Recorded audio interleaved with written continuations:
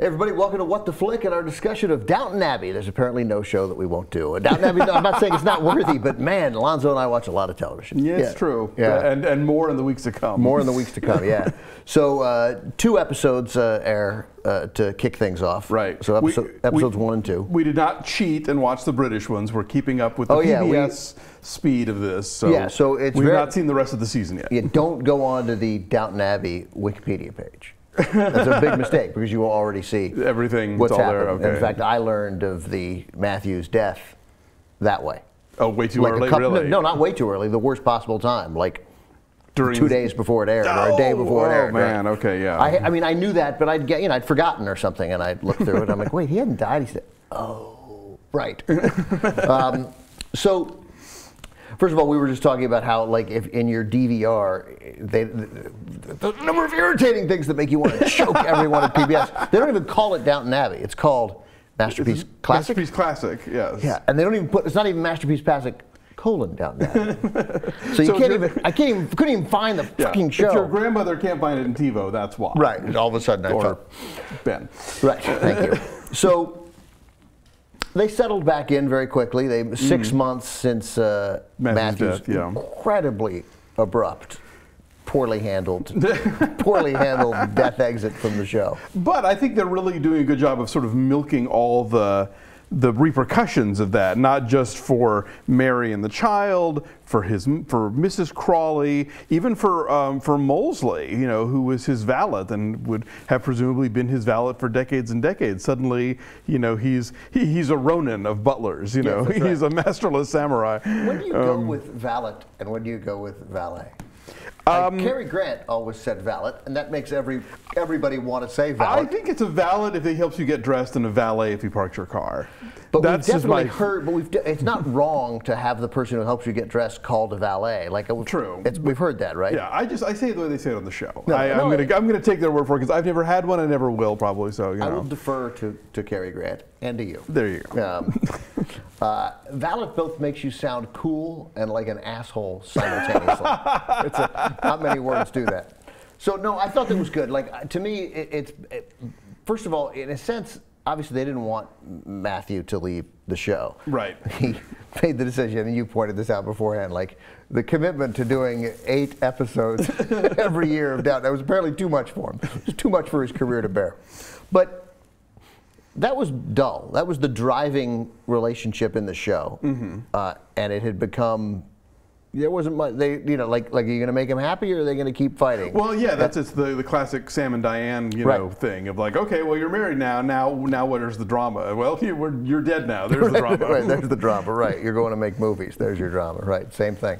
Um, so uh, I liked how they were sort of, you know, I thought they dealt uh, very effectively with the emotion, with uh, with how people deal with such tragedy, such a sudden, terrible tragedy. Like, how much easier would it have been? uh, I thought, you know, it's, it's subtle. You know, when people die, they they die. Yet certain tragedies, certain deaths, certain murders, certain situations like murder are, are harder for the people left behind. Sure. You well, know- especially when it's abrupt and you have you didn't. It's not like somebody older and you saw it coming and you had time to adjust. Not that that's any easier. That once the death happens, you know, it's it's it's like a fait accompli. But but certainly in this case, it's it is such a shock. And he was so young and he has this new baby left behind. What I thought was kind of interesting was how you have Tom Branson in the house and some in some conversations there's acknowledgement of oh yes you went through this too. And then other times where it's hmm. just like oh you couldn't possibly understand. And I'm right, when thinking, he- I'm right here. I, my wife died, you know. Yeah, I mean, when uh, when uh, what's the what's Hugh Bonneville's Uh, Lord Grantham. when Lord Grantham is talking to him as they're walking, you know, when he talks about this unspeakable tragedy we couldn't possibly understand. And Tom's like, no, I, I, it was your daughter. yeah. P.S. Who died because you were an asshole with the doctor. So That's right, you know. right. And he's like, oh yes, of course. Uh, quite, quite, Can, quite, quite. can we take it as a given that Lord Grantham is wrong about everything? I mean, this guy. Always. Like, the, what I like about him is that he is the, one of the most incompetent characters on television. but he is, um, but he's not. He's not. He, he doesn't mean poorly. he's not malicious. He's not malicious. just- he's just terrible at everything he does. I mean, he lost his wife's fortune. Right. He lost then his fortune. Yeah. Right. And he would be obviously well on the way of, of losing Lord George's fortune if he's allowed to manage it. I mean, and I love that how subtle they are because uh, clearly Tom, the uh, the the the chauffeur, Right. right, he chauffeur. Um, Tom knows, but he's Yeah. not going to be rude. He's like, I cannot have this man making the decisions. I really need Mary on my side Yeah, and here. he's so clueless. Has there ever been a character less self-aware of their shortcomings? I mean, I guess he's he's the symbol of you know this the, this this this creeping kind of inbred aristocracy that is being shoved aside by the sort of you know ambitious working class. You know, because yeah, if it weren't for sort of I guess by the standards of the show, sort of middle class uh, uh, Matthew, and then obviously working class Tom. I mean, he would be the the, the, the, the they would they would be selling the castle for tourism. I mean, there was there's Right, no yeah. way Yeah, they they'd would be living in a different mansion, but not their mansion. uh, but interesting though that while he's a symbol for that, they have made uh, Maggie Smith like all of a sudden they, they did it. It's a credible turn, although Right. I'm sure if you watched them straight through, like she's different. She, th- this is where we're definitely getting the softer side of, uh, of the dowager. funnier. I mean, she's always funny, but I thought that I thought there was a lot of comedy with her uh, in these two episodes. But she's just reasonable. It's like she shrugged her shoulders and thought, "Well, I hate all these change." Like the she, it's like she thought, the part of me that I don't like about myself hates these changes. But there's clearly something good here, and and she. I mean, she, you know, talking about how she'd send him to the nanny and put him in his bedroom without food. I mean, he's a, you know, whatever. He's a 50-year-old man. She's she is rigorous but pragmatic. Yeah. So I think she realizes that uh, while there's a part of her that's horrified at the, the thought that Lady Mary would be you know dealing with the tenants and understanding how the crops work, she she realizes she's watched her son like you said fritter away all these fortunes. Like somebody else needs to be in charge. You know. fritter away these fortunes. Like, did they go well circumvent? What, what could I do? There's no way I couldn't stop it at all. But that was very nice when she went up to Lady Mary. That was a nice, sweet scene. Um, She tries to do right by Molesley, but her butler screws that up. There was a lot of uh, Molesley. Yes. Yeah. There was a lot of everybody. There was there's so many plots going on. We haven't even talked about O'Brien not coming back. Right, right, right. Which they, uh, uh, which of course I that I had read. Did you read that? I, I think I think I hadn't had forgotten Yeah. about it, but yeah, like she didn't even come back to like leave the letters. Like that was clearly some stand-in, you know, Oh, totally, just yeah, yeah. skulkily leaving letters on on mantelpieces and making off in the night. But I mean, thank God to me, O'Brien's gone. Not just because she was uh, sinister, but I can't bear how much. I, I, look, I can bear it all. I like the show, but how ridiculously sinister O'Brien and Thomas are, mm. right? And that people have discovered it, and then three episodes later. They're like, oh, Thomas has told me something in confidence. It must be true. no, for the love of God, it's not true. You already established it. Thomas had an interesting role there, where suddenly we found ourselves feeling sorry for him for the first For time, bit, yeah. because you know, like that he was going to go to jail for being gay or whatever. And then in the Christmas special, he gets beaten up on behalf of the other guy, so they've sort of mended their fences. Who did he get? Who, who took the? Who did he take punches for? for oh, the guy, the one Jimmy. who Jimmy, Right. yes, for Jimmy who had the crush on, who who uh, who Bates or O'Brien made him think, you know, returned his feelings. Right, but then he's back to his old things, and he turns in the nanny Yeah. for nothing, except it turns, turns out he's right, yes. right, he doesn't even know he was right. The stop, the, the stopped clock that's right twice a day, you know. right, yeah. uh, but yeah, so but now we've got Edna back, and she's the one who obviously has eyes for Tom Branson and, and, and is, is is sort of upsetting the apple cart. And so now the two of them, she's going to be the new O'Brien, and she and Thomas are going to be all, you know. Now I thought, right? She's. I mean, they just she just moves right moves right into that Yeah. role, and she's obviously set up Anna for a fall. Right. Um, but I mean, what's frustrating is how dumb Lord and Lady Grantham are. I mean, they are dumb as Oh, posts. Yeah. And oddly, they're the, the both the mothers are so much more keenly aware. Of the world around them, right? True, yeah, yeah. I mean, not both their mothers, but I mean, Mrs. but- Crawley and- Mrs. and the Dowager and, and- and the yeah. Dowager, right? Um, because I mean, they buy it every time from these people. every time, it is fucking maddening to me.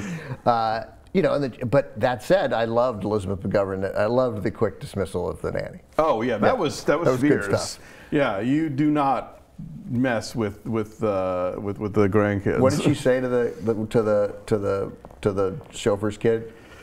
Uh, so like you, it's a half breed Yeah, or something. It's like you go back to sleep, you have. Yeah. it's like was that about being half Irish or about being half non-aristocrat? I don't know what that I was. feel like it was non-aristocrat. I Yeah. feel like 'cause she cared so much when she was talking to Thomas about. True. It's not the same. You know. Now I'm going upstairs. oh yeah. that's true. She's she's pretty pretentious. Yeah. But of course, Thomas like is consumed with the idea that anyone is going to treat him like a servant, and like I I guess even the his employers half the time. But you know, yeah, he's a he's a character. I love the. I, I did enjoy the music. Um, my wife fell asleep, so I, I watched 20 minutes of it again this morning. The last 20 minutes, and uh, like they have a certain kind of music that says pointless mischief is happening. You know, like good-natured mischief, like like uh, Bates. Uh, creating the card so that Oh, Molesley right. can get money and not know. They have this little doo-doo, somebody's up to something, but it's not evil. Relax. Yeah, the, the, the, I think the sitcomiest moment of last night was uh, uh, Lady Rose dressing as a maid Yeah. to talk to the gardener guy, and you you you, you think, okay. I'll, I'll allow it, Downton Abbey, because you you put it in the context of this show where there's a mix between upstairs and downstairs that I'm sure never existed. You know, like they probably took like the one instance of any sort of crossover familiarity in the entire history of Right. British aristocracy and put it all in this house. You know, That's um, I thought the whole thing with uh, you know with, with Bates and Lady, sorry, with, with Mr. Carson and Lady Mary was interesting, where he tries to talk to her, and at first she like she she plays the you know the lady card, and then. Right. like kind of She dials it the back. rules. Yes. Yeah. and then you knew she'd apologize. Yeah. That's a nice relationship that I didn't think they'd sabotage. Um, I, I wonder whether you, I, I mean, I think you're right, and obviously there's much more mixing, but it's strange that, that like, unlike upstairs, wasn't upstairs downstairs in London? yeah. Right? So to me, that makes it more likely that there would be very little connection because these people have other worlds with which to interact with people in their worlds. But these guys are like mo- much of the year. I mean, they're super isolated. I mean, they talk to the people, they talk to the downstairs people, or they talk to no one. Right. Like so that it seems like over time, because it's this. I mean, it's this weird. Totally fake economy. like, it, I mean, they just employ them to employ them to keep serving them. Which, you know, I don't know. But anyway, it- so it seems more likely that there'd be inbreeding. Fair enough. I, I uh, suppose so. Do we care about Rose, Lady Rose? I you know, I can't decide if she's the cousin Oliver of this show or what the deal is. I, I think she is the conduit for the 1920s, basically. Yeah, right. She's the flapper, She's you flapper, know. Um, so I, I guess she's going to kind of keep things interesting, and, and I'm sure after Lady Sybil got killed off, they decided they needed a young hot babe. Um, I think that it seems to me the Rose Jimmy romance is potentially set up. I mean, they ran into each other dancing, and then he came outside and saw her, and she was like, not a word. So that hmm. maybe, and she's obviously excited by, you know, dating somebody downstairs. Oh God, I don't know. I you know after uh, th- that was handled so well with the chauffeur. I don't want them to this to become a regular thing where like they're Yeah. marrying off the staff. That just seems that just that that that's like once I'll buy it. but, Jimmy's a dick too. Like, you know, Jimmy is uh, is not reliable and and a bit of a cad. Yeah. um, bit of a cad. you were required to say that about somebody in another show, in an American show. Oh, fair yeah, enough. just, um, He's a roue and a blackguard. Uh, so I thought that that was the woman who made out with Lord Grantham in the closet. No, no, no, no, no, no, no. She's the, no. Edna is the one who, uh, on the Christmas special, when everybody's up in Scotland, she is like chatting up Tom Branson and trying to make him feel guilty about being all fancy and upstairs when he used to be a downstairs guy. And and as as as uh, Mrs. Um, uh, Hughes, bless her heart, who's Yeah, the greatest the character best, on the, the show, best, the best. Uh, basically said like you know she made you she made you ashamed of yourself when you know you've done nothing to be ashamed of. Right. So she's back. So it'll be interesting to see. I remember that. So did they did they kiss? I can't remember if they guess she did walk in on him shirtless, Right. which was an unforgettable moment. But I don't remember if they kissed or not. I beg to differ. I, uh, I've clearly, I've clearly completely forgotten. Uh, I will be curious to see what happens when those two cross paths again. They have not yet.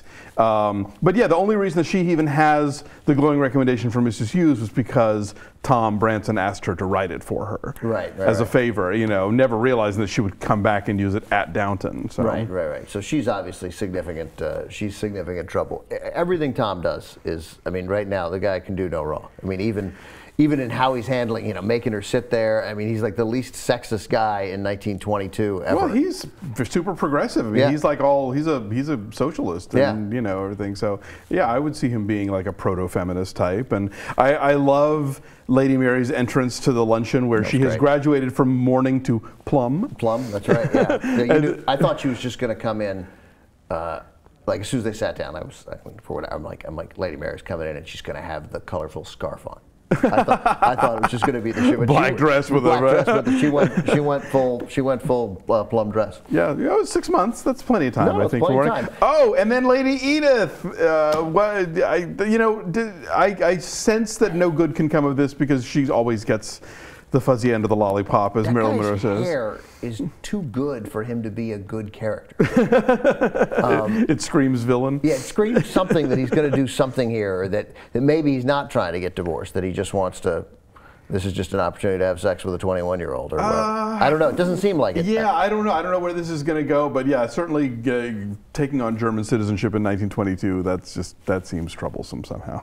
But eventually, the Brits would come to forgive the Germans, and, then everything, and then everything would be fine. Yeah. Um, all right, so uh, we're. Uh, oh, I'm, I'm, I'm into it. I'm in. Yeah, Yeah. yeah. We're just getting started on season three, so. Um, all right, guys. Thank you.